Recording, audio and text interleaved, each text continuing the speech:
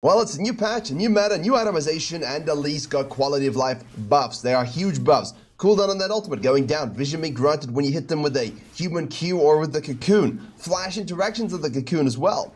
And her spider passive that does bonus damage and heals. When you repel onto a target, you would get that. If you didn't repel onto a target, you don't get that. Now, you always get it. Isn't it amazing? Also, as we have the Yone move up to most likely Ward, which we saw on the minimap there, always keep your eyes on the minimap, we have a uh, bot lane losing, so basically you are ready to learn things, because I'm sure all your bot lanes are eating their asses off as well. Here's the thing. Fighters have less damage but more HP. Tanks obviously have a little bit less MR but also more HP. Overall fights are longer and people are getting blown up less. Except for Elise she do be blowing up absolutely everybody. And we do have the scanner here in first rotation. Wards no longer grant experience, which does suck, but such is life. Most importantly, with the Storm Surge buffs that we received a little bit ago, plus things like Shadow Flame and Void, yeah, she does a lot of damage. And she always did a lot of damage, but now, because she also has a Spider from Q here that has a missing HP metric, you see that they're missing health magic damage, what is exactly the problem for Elise in terms of winning games. None. There's literally nothing holding you back as an Elise player other than yourself.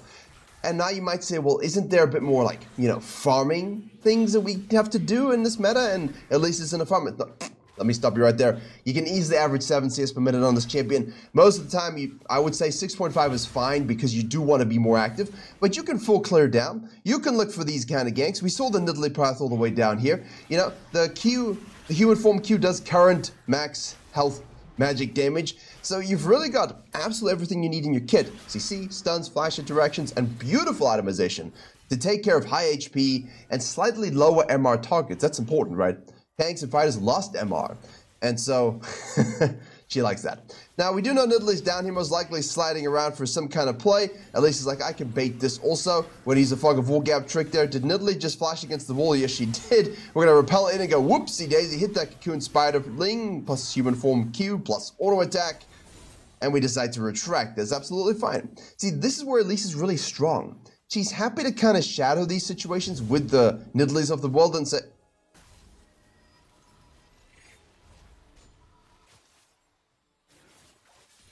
No. it's usually my reaction in game. Just just sad you absolutely must head to Virkayu.gg. Not only do I have a free jungle improvement resource, I also have a dedicated program with jungle video courses, jungle coaching, coaching classes, a jungle VOD library, special weekly content you'll see nowhere else. All of this available through a premium jungle discord which is highly active, a huge community that help each other climb using my jungle program and courses. As we have seen by everybody hitting their peak rank goals in Split 1 and Split 2 of Season 14 as fast as possible. So to climb faster than everybody you know and to jungle div every game you play, head to Furkayi Nidalee.gg or click the link in the description below. Just, I'm, oh, my, my scuttle's gone. Nidalee knows that Elise will go to the top side here and actually decides to forego the scuttle for now. Uh, from Elise's perspective, you would assume that the Scuttle Crab is being taken, so you don't even bother with it. Shen trades with Krabby. And Nidalee assumes the same thing, so let's see who calls the bluff first. Elise knows that Nidalee will out-farm her, counter jungle her, and so on, so we do need to get on the map here, and we do want the grubbies. Nice scan on approach. Wide angle, wait for the taunt here. We do have the cocoon as necessary. We're going to hold it off for an auto attack. The spiderling then shoots when you hit that uh, Q as well. For those who don't know, I know most of you do, so just bear with me. You're going to chuck out an auto attack here. We're going to hold our cocoon, obviously. Actually, no auto attack needed, just straight into the neurotoxin. Uh, there's the spiderling, the, the, the W, right? This is now going all the way to the left, far away. Okay, we're going to hit our cocoon. As soon as you form swap and hit the Spider Q, that Spiderling is going to fly and explode uh, onto the target. So always huge to understand that your Spiderling doesn't need to literally go at the target and hit it. You can always activate that just by hitting your, your Spider Form Q. And that missing HP goes Mega. Now, Nidalee is most likely going to be on the bottom side at this particular stage. We see her briefly in the minimap. As always, keep your eyes up. And now you are level 4. We're way behind level 10. We'll hit level 5 in this camp. Um, you can definitely decide to perhaps go for the grubbies, but they haven't yet spawned. We don't exactly know what Camps Nidalee has done or if the Scuttle Crab's available. We know she's most likely going to try and counter junglers here, which of course she does. No surprises here from the Elise, but 001, down two camps, with down six CS already. Look at the map here. Our bot lane resetting, our bot lane out of whack. Do we have mid lane proc? Can we maybe force a dragon here? Now, this is something that a lot of junglers don't do anymore. But when you are pathing downward, and the enemy jungler has a bit of a not a tempo advantage, a little bit farming tempo advantage, just a positional advantage, shall we say. You don't know where they're gonna go in terms of here or go back up to the grubs. You currently have a guaranteed ability to snack this dragon out with mid prio and a level 7 Zed. Uh, he does have ult as well. So you can basically use a shove here to just say, let me just get this objective. Because you're down on levels from the gank and missing camps and Mikano jungled, that gives you a huge amount of experience and Nidalee shows up here, chucks a spear that somehow hits. I don't know how it does, but it does. See, Nidalee's problem was she should have actually just bounced and got to the top side already. She's hovering, and Elise loves it when they hover because that's kind of what she wants. Now, this is not the most active game in terms of Elise getting kills, and I'm okay with that, you see? Because a video where I show Elise getting 14 kills level 3 and it's snowballing is very boring. Uh, well, depends on your perspective. not boring, but you expect it to happen. But when you're playing Elise, those are the games you win, right? How do you win these games? As an Elise, as a ganking jungler, as something that is a bit more, you know, I, I, need to get on the map, I need to make things happen. How do you win these games? And that's always important because Nidalees and Shyvanas and Hecarims right now are just loving this game. Farming it up while you can't get any ganks off and you're struggling. Yeah, we got the Hextech Dragon, which is huge, but, you know, you can feel for the Elises. Like, I'm trying to do things and nothing's really available. Shen moves down. Yone again taking the the, the, the, the grubs a little bit and uh, the scuttle crab and making our lives a little bit irritating, but it's a level 4 Nautilus at 8 minutes, so that's the thing.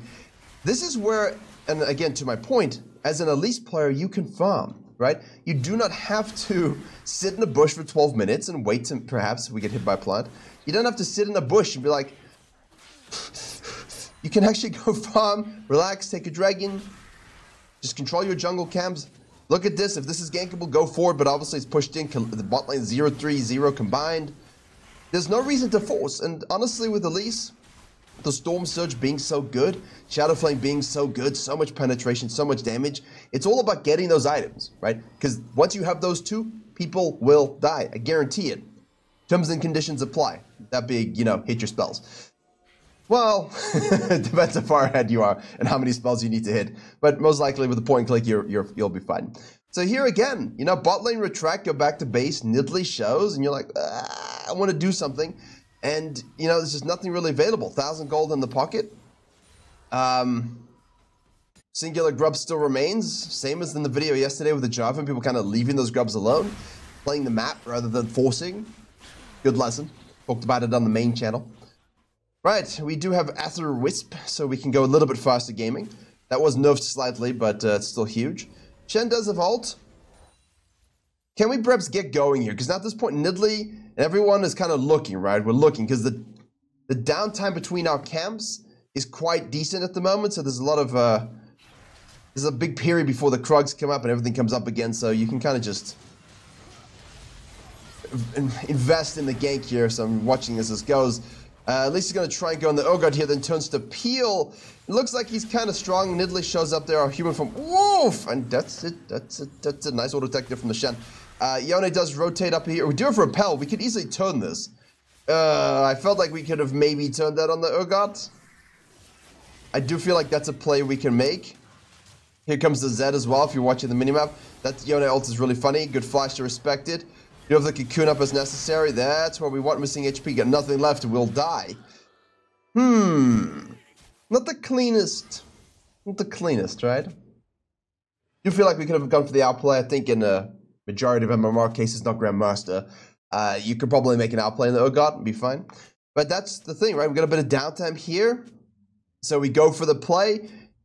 No stress. And again, the games when you're released like this, are the hard ones to win. When you're fed, it's pretty easy because everybody just dies. And you don't have an out as Elise. You're not an Udyr, you're not a Hecarim, so you've got to actually think more deeply about the game and be very, very patient. Here we go, there's a little ult repel onto missing HP Q, polymorphed unfortunately. Kalista gets a kill, nice hook by the Nautilus, and we'll take again, 0-1-5. But, we're going to get a lot of kills. In this game, there's a lot of kills going to Elise, but we currently have zero. There's 30 minutes, and we kind of want 6,000 gold by 14 and level 10. We have 4.6k gold at basically 13 and a half, and we will be level 9 after this camp. So, how the hell is Elise meant to catch up in this kind of game state when, really? Only Kalista has about 5,000 gold on her team. Well, it's actually pretty bad for the other team too. This is a very low gold game, uh, and we're not we're not actually level uh, 9, so I overestimated the wolf camp there. I'm used to sequencing at a much higher tempo, so that wolf camp is probably not the level it should be at this particular point, but again, such is life. Right, we do have the Storm Surge completed. This is the big item that we like. As you can see there, we've got ourselves a movement speed passive. That utility plus the base movement speed on the item, excuse me, makes this rotational thing that she has to move around the map in a spider form Q, uh, spider form Q. When you're in spider form, you move faster, right? So Storm Surge amplifies that as well, which is why Lichbane was always nice. They did nerf that down a little bit. It is 4% as well. But you can see there, dealing 25% of a champion's max HP gives you that extra movement speed as well. So it's like a built-in phase rush in the item. So once you've blown a load onto the enemy, you're pretty damn mobile. You're repositioning, form swap, in and out, hit multiple cocoons, hit multiple repels, hit multiple spells of all nature. But once you have uh, Shadow Flame, I'm going to show you that uh, you only need one rotation. we'll take this here. A dragon a piece. Does it show? It says damage to champions and gold gain because obviously you get uh, that passive there. Just by the is uh, can you just have you noticed this? Look at this. I hover it and then it disappears now. Instead of holding it so you can read it, it's the replay. It just doesn't let me. It just disappears. But it grunts. You get gold passive as well. So it's like a mini first strike. Yeah, cool. Anyway. So movement speed, mini first strike, extra huge amount of damage, 95 ability power, 15%, uh, 15 uh, penetration. We are a strong champion with this item. Let's see, what can we do? When are we going to come online here? Let's speed this up. Gonna catch this wave. The threat of Elise apparently is enough to chase the Urgot away. I guess he is far behind. Uh, Dragon is down. Everything is down. Now it's basically just looking for those plays. This is where patience is important, my friends. Please be patient in game as well as right now. A lot of you throw games because you get impatient in this moment. You force a gank, you force a fight, you force a dive. Uh, we saw 100 Thieves do that at Worlds. Sorry for spoilers, but they did on Tuesday. It was the first day. Second day? Wednesday? Who knows? Wait. It's Thursday. Either way, don't do that. Over the wall, there's the flash everything from Nautilus, basically. Control your camps, shadow scenarios, take the Scuttle Crab. Now your team makes a pick, you make a pick, now we can activate the Herald. How the hell are we going to play this out here? Big needlessly large rod in the inventory. Storm Surge plus needless. Mm-hmm, next, I'd like to see good Herald. Just a side tip here, when you are a Fed Elise, and this is like 14, 15 minutes, you have 12 kills, right? Uh, this is the kind of thing you want. Make a pick, hit your combos, get two turrets with your, your Herald. That's the idea. Um, obviously, sometimes you cannot. Here we go. See, watch this now. Oh, wait. Okay. Four people, so not wait, Shen ult. Patience. You are kind of like an assassin there. Auto attack, neurotoxin, spiderlings, uh, cocoons, Play it smart. Do not over commit yourself. Whoa, whoa, whoa, whoa. Who said you could do that? Uh, to avoid. Please, no. I don't want to get sucked in. Force to flash it. All right, that'll be dragging away to the blue team. Again, I love. As a coach, I love these kinds of games because these show me who is patient Now, it's not an explosion of might like previous patches, but uh, that was a lot of damage. Damage done by Storm Surge already is at 203. 60 gold earned. Hmm. Also get that uh, bonus damage proc as well. Squall. Squall. Squall? Squall. I don't remember the passive names very well. Like, I know what all the items do and what happens, but then, like, the passives and the way they work the names, uh, sorry, with the names, I don't. I don't remember names of passives, except for Rock Solid. Rest in peace. Uh, right. Krugs are available if you want those. Hippity hoppity. 2400 in pocket, that's Shadow Flame, 100%, we got it. Now, let's see what we can do in these fights. Okay, here we go. So, this game's been quiet, quiet, quiet, methodical. You know, down on farm a little bit. The Nidalee's been able to get a couple kills in these fights. Yone's been threatening side to side. The Zed has been okay, but not impactful. Our bot lane are doing solid now. We really need to show this damage. So here we go. Auto attack. There's a cocoon. you see what I'm saying? Like, it looks weird, but you can absolutely take care of the Soraka, the Lulu, the Jannas, the Sonas, the Seraphines in games where you have your team grouped up and they can handle the main guy. Take away their support uh, system that actually allows uh, the carry to exist. In this case, just take away Lulu, just gone. Explosion. But she will do this to other people in the game as well. Watch. Here's trying to contest. We're a little low. So we want to make sure we zone properly and body properly. Yes, we do. Level 12 on the Nidalee. 8.1k gold. We have 9k gold. We're 900 gold ahead of the Nidalee, right? Okay, easy snack. Okay, here we go. See what we can do. There's the ult. Cocoon. Oh, that's a dead Nidalee. See that burst you're seeing? There's that burst of damage. That burst of damage. It's a bursty item. Very, very bursty item. So if you can do 25% of someone's health in that short time frame, that's when you get that burst of damage, right? With a 2. Well, I say short time frame, but 2.25 seconds really isn't. Um, but that's a squall. It's not 200 damage right after two seconds. That coming in is, is a massive chunk alongside your harvest, your electrocute, whatever it is that you're playing on your champion. Harvest is fine. Right. We're gonna go for Zhonya's here. You can go for Zhonya's. You can go Death Cap. Uh, you can go void stuff if, if you desire. Be aggressive, but be intelligent at the same time. Like, I have nerfed Zhonya's, but and that's because with the Vayne and the Lulu and even the Nidalee, like it can be tough to survive if you get caught out. So uh, there's the Zed, still doing a lot of damage. Here's the Urgot. Here we go. Form swapping. Polymorphed. Not really doing anything. Ah, that's what we want. Cocoon. Explosion. Zed says, I'll help myself with the Q. Naldis goes over the wall there. Elise is like, whoa, whoa, whoa, whoa, whoa, whoa. Easy there, big boy. Easy, easy, easy. There's Shatton. Killis is top side here, so this is what you gotta watch for. Killis being top side. Uh, this is what I'm saying. People get excited. Elise is just like, I'm taking Raptors, guys. We, there's really no reason to force us. Now she rotates over here. That's a triple uh, kill waiting to happen, I think. There we go. That's why, because you can very easily die, although she still might die, it looks like. She undermined my point, which was, uh, let your team die. Take all the camps, make a pick if you can, push mid lane down, shadow the Kalista perhaps, take all of these camps too.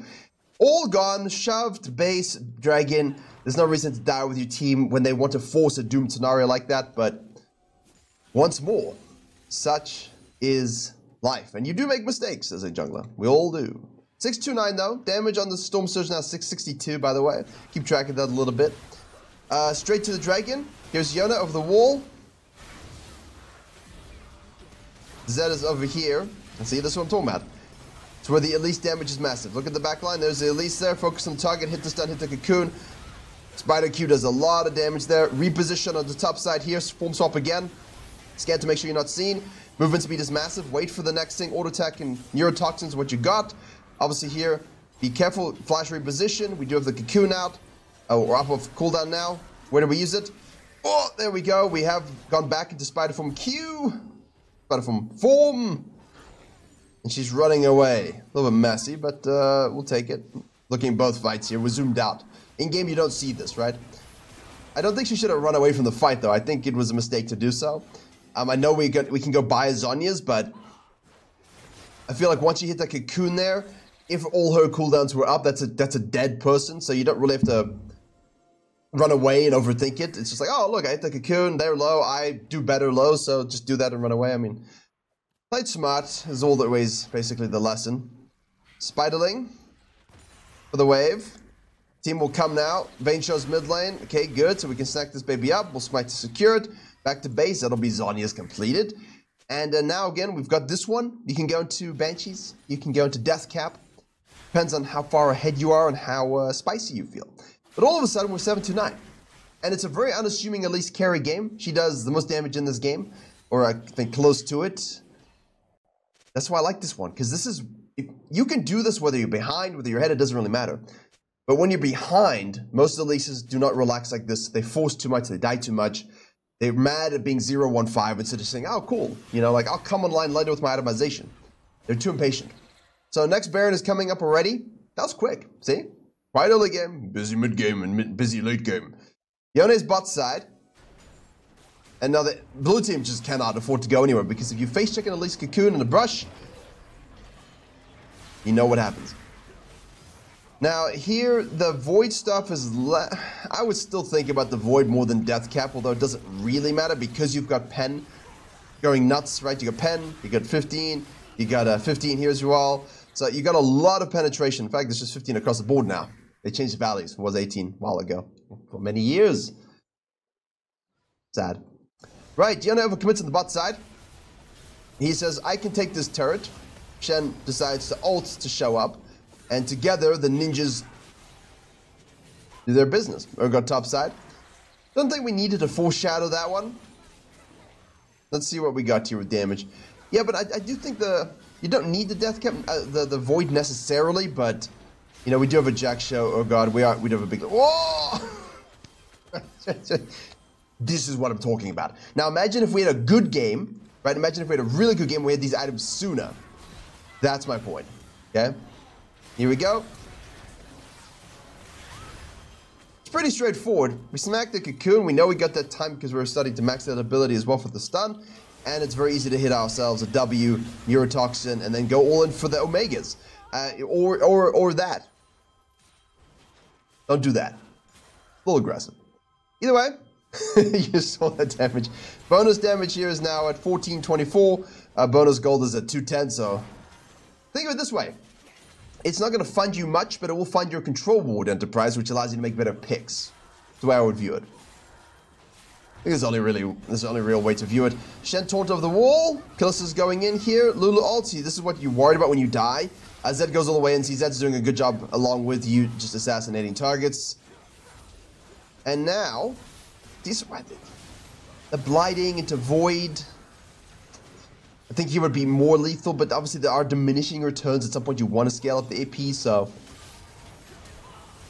because there's just really Urgot and nobody else, I think it's fine. But if there wasn't like a tankier jungler or tankier support, then please, the, the, the jewel will will do a lot. You know, it will do a lot. Because that's percentage penetration, whereas what you currently only have is flat penetration, and that is a, that is a bit of a difference, right? Like flat flat plan is not percentage pen. Um, are you? Okay, so let's look at that again because we're having a fat chat and the replay decided to lose all frames. like the poor Vayne. And that's like again, you don't need the percentage pen uh, in that situation. But uh, yeah, yeah, yeah. I like this game just because it's really more realistic in terms of hey, you want to climb. These are the games you're going to figure out how do I have impact, how do I scale, and how do I end up at you know, like 9 3 11. Um, you know, tied most kills with the Z. How do I come up with some of the. you see, now just imagine this happening like 10 minutes sooner because you have a bleed. That's the point. You just gotta relax, get your items, and then just do that. And uh, it's really. I don't think I need to say any more.